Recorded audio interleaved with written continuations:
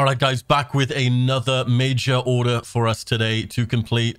The final one, we're going to be taking down the automatons. It's a pretty big one. We're going to be actually wiping out a faction in Helldivers. Is that the case? Find out in this video. So we are giving away copies of Helldivers, guys. Support the video with a like, leave a comment down below, and subscribe to the channel. Let's try and get this video to 2,000 likes. Like the video. It will take you one millisecond.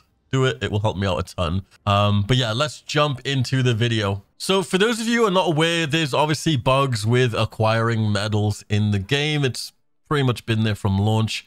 So yeah, some info from High Command here regarding outstanding medals for not only the latest major order, but for medals appearing after a successful order overall. So some info. So they said your hard-fought medals are already being uh, shipped Helldivers due to the vast amount of outstanding soldiers participating in the continuous fight for democracy. Dispatching them, however, takes some time, usually a few hours. Thank you for the non-wavering effort and support. So if you haven't received your medals yet for completing the last major order, it does take some time. I have noticed this with mine as well. It does take a few hours for them to actually come through. The thing is, though, like you don't even need to participate in the major orders to get the medals. So I still think it's pretty good that they're just giving them to like everybody. As long as you log in, you get the medals, right? So yeah, honestly, I'm not complaining. And here it is, the new major order of the week. So yeah, the final strike to get rid of the automaton threat once and for all Helldivers for Super Earth. So this is the new four-day major order in the game right now. They want us to basically liberate all the remaining automaton-held planets, Tibit, Durgen, and Maia. So yeah, I don't know what's going to actually happen if we manage to do this, but it'd be pretty insane to obviously wipe out the automatons. I don't think we're actually going to wipe them out. Potentially, we could even fail this just because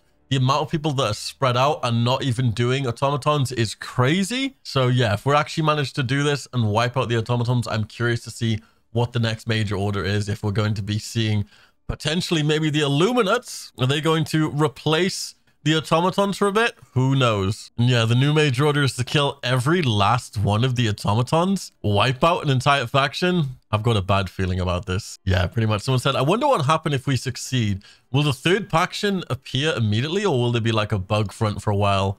That's what I'm thinking. I'm thinking the automatons are going to basically disappear for a while. We're going to be fighting bugs. And then what I think is going to happen is we're going to just be getting the Illuminate come back. And then it's obviously going to be joined with the automatons. I think that'd be pretty cool. So yeah, here's this, uh, I guess, game plan someone has laid out to basically win or victory over the automatons. So they're going to start with Maia into Durgen into Tibit. So this one said the final eradication of the automaton menace is within our grasp, but is only guaranteed if we work together.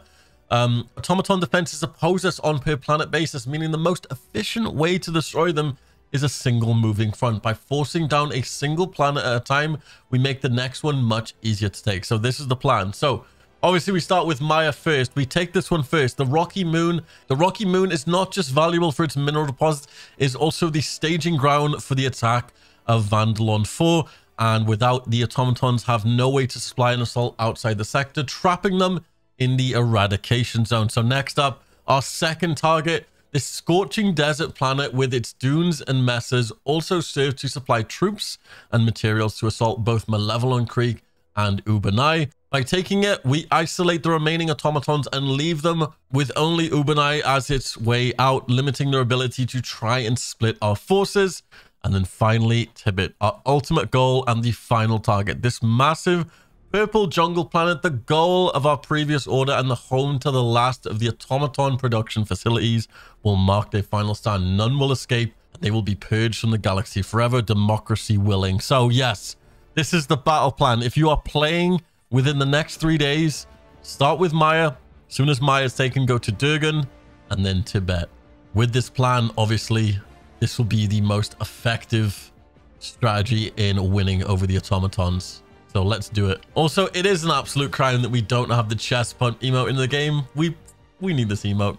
Can we get this emote, Arrowhead? Thank you very much. Everybody. So we've got a pretty big uh, Illumina audio leak coming from the guy himself, Iron Ironsight. So let's take a listen here. Pretty interesting. A lot of uh, Illumina audio leaks. For a minute, I thought I might never vote again. The Helldivers are here!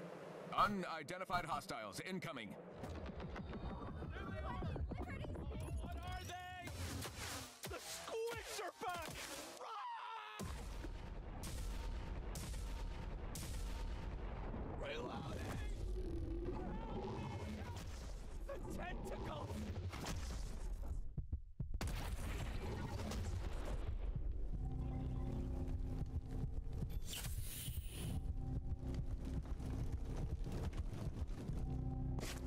Position at 30 minutes remaining.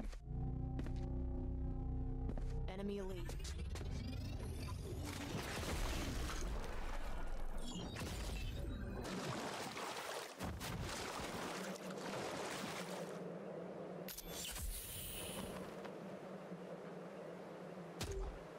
Deploying illumination flare.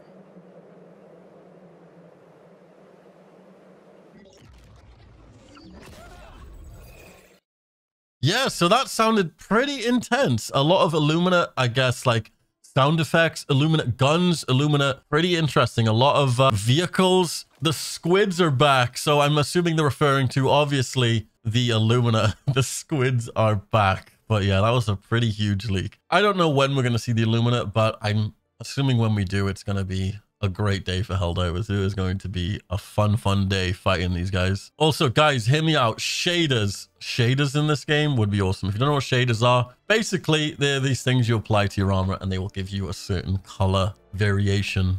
Pretty sweet. It was in Destiny, and I think it's a really cool system. But you know would be even better? Color palettes. Can we get some color palettes? I think Warframe uh, really nailed the customization on this. And yeah, color palettes let us customize our armor. I know for a fact when we drop in with different Helldivers, but it'd still be cool to rock like a unique color scheme. What do you guys think? Do you think we need color palettes for our armor? Another huge leak here from Iron Sights. It actually shows the Illuminate Observer and the sound that comes with it. So these are the guys that basically alert the Illuminate and they will basically call for reinforcements. I don't think they actually fight you at all, or maybe they're extremely weak. But yeah, the way they just swim through the air looks absolutely terrifying. So this person was actually testing out the new Airburst rocket launcher on ground-based. So the Airburst rocket launcher is a new stratagem coming and the way it works is I'm pretty sure it's meant to be used for small air infantry. So it's like an anti-air weapon. But this guy was basically testing it on stuff on the ground. And it was actually performing pretty well. Also, it has five rockets, I am aware. Uh, someone mentioned in my last video, I can't count apparently. But yeah, it's got five rockets. And yeah,